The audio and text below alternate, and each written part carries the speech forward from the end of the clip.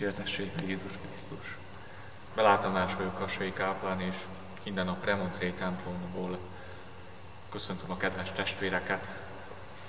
A készület ideje, már a napokat számoljuk, és várjuk azt, hogy együtt ünnepeljünk, hogy egy pásztor legyen és egy nyáj, és hogy együtt az egész katolikus egyház Budapesten találkozzon az eukarisztikus kongresszuson, amely egy jó kezdet lehet nem csak Európa, hanem az egész világ megújulásában.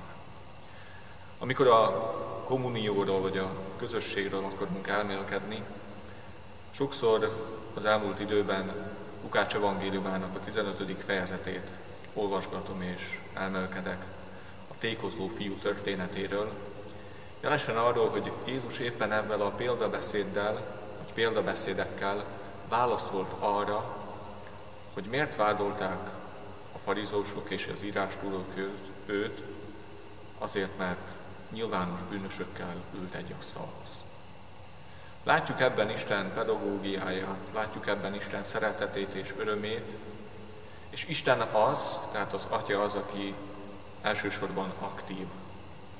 Amikor a tékozló fiú hazajön, és legtöbbször a tékozló fiúval szoktunk úgymond szembesülni, vagy őt tudjuk úgy magunkénak venni, az idősebb fiúval nem nagyon szoktunk sok időt eltölteni elmélkedésben, de érdemes, mert nagyon sok az ő hozzáállásából, viselkedéséből, modorjából megvan a mi életünkben is. Mégis az atya az, aki a jó.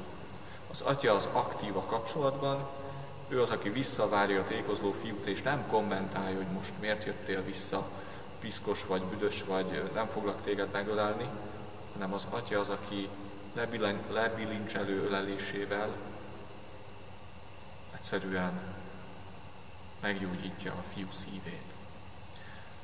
Az ifjú úgy jön haza, hogy ő már nem azt várja, hogy majd az atya befogadja, mint szeretett fiát, de mégis ahol a reménye, hogy lehet, hogy valahol a szolgák között kap helyet.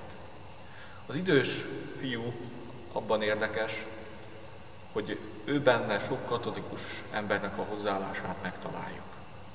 Hiszen az idős fiú betartott mindent, minden parancsot, sőt a apának azt mondja, hogy apa, én mindent betartottam, és te soha semmit nem adtál nekem.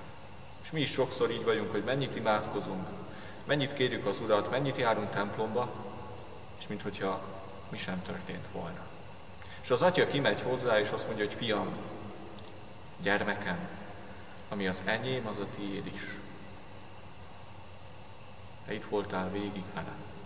Tehát számunkra, kedves testvérek, az a fontos, hogy mi megéljük az atyának a jelenlétét, az atyának a ölelését, és hogy ő mindenkit meghív, minden egyes szentmisére.